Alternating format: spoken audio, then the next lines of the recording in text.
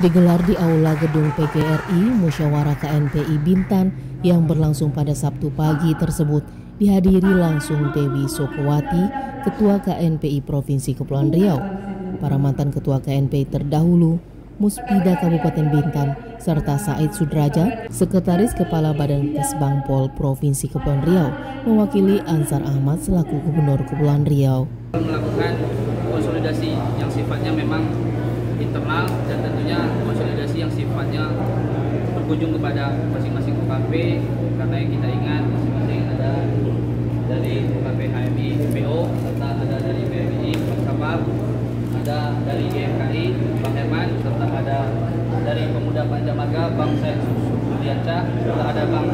Jerry dari GMNI serta ada dari GPI DPR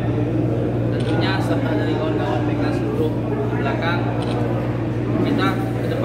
Usai terpilihnya Fajar mengatakan bahwa dirinya bersama organisasi kepemudaan yang terdapat di Bintan akan melakukan konsolidasi dan menghimpun organisasi kepemudaan lokal yang ingin bergabung dengan KNPI Kabupaten Bintan. Selain itu dirinya juga akan menerima masukan dari 18 organisasi kepemudaan pengurus KNPI kecamatan yang mengikuti musyawarah daerah tersebut.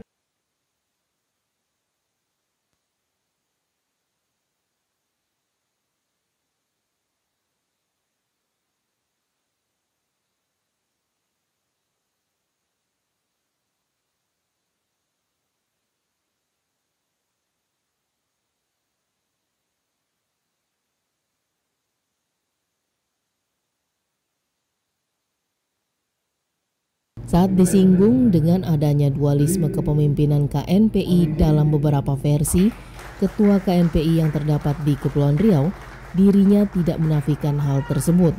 Namun dirinya dengan para pengurus akan berupaya untuk menyatukan persepsi yang menjadi pertentangan di tubuh KNPI, baik itu secara nasional maupun tingkat provinsi dan kabupaten kota yang terdapat di Kepulauan Riau.